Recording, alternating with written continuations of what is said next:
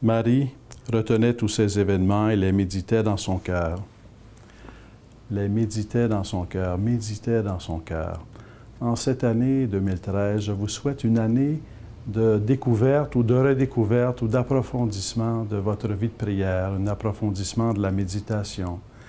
La méditation, c'est très précieux, c'est la respiration de l'âme, c'est la rencontre avec Jésus-Christ. Et en cette année de la foi, c'est un moment privilégié pour redécouvrir notre foi comme rencontre avec Jésus-Christ. Déjà, on connaît Jésus-Christ, déjà, on rencontre Jésus-Christ. Mais comme l'amour qui est appelé toujours à grandir, notre rencontre avec Jésus-Christ est appelée toujours à grandir.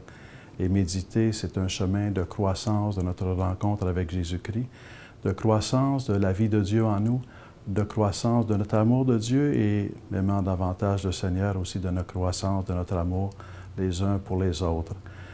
En priant Jésus-Christ, en le rencontrant dans la méditation, dans la prière, en méditant sa parole, nous ouvrons notre cœur à sa paix, la paix qu'il nous donne, la paix qui dépasse tout ce qu'on peut imaginer, la paix qui est capable de rencontrer toutes les situations de vie auxquelles nous pouvons être confrontés. Rien ne peut empêcher Jésus-Christ de nous donner sa paix et lorsque nous prions, nous ouvrons notre cœur à la paix de Jésus-Christ qui est unique et nous sommes transformés par la paix de Jésus-Christ en même temps que nous devenons les uns pour les autres des instruments de paix, des chemins de paix.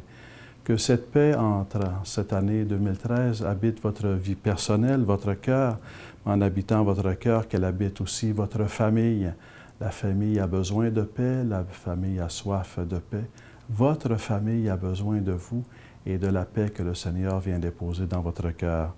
Que cette année soit aussi un temps de paix dans la société. Il y a beaucoup d'inquiétudes dans la société, beaucoup de tensions, et beaucoup, mais en même temps que beaucoup de générosité. Mais la générosité est fragile, le bonheur est fragile, la paix est fragile.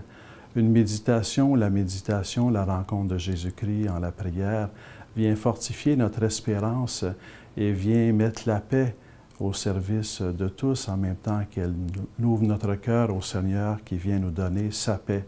Et ce chemin de paix est un chemin possible parce qu'il est l'œuvre du Seigneur, parce que le Seigneur a le pouvoir de toucher le fond de nos cœurs, le fond de chacun, du cœur de chacun et chacune d'entre nous. Que cette année 2013 soit une année de foi, une année de confiance en Jésus-Christ, une année de prière, une année de méditation, une année de paix dans votre vie personnelle, dans votre famille et dans la société.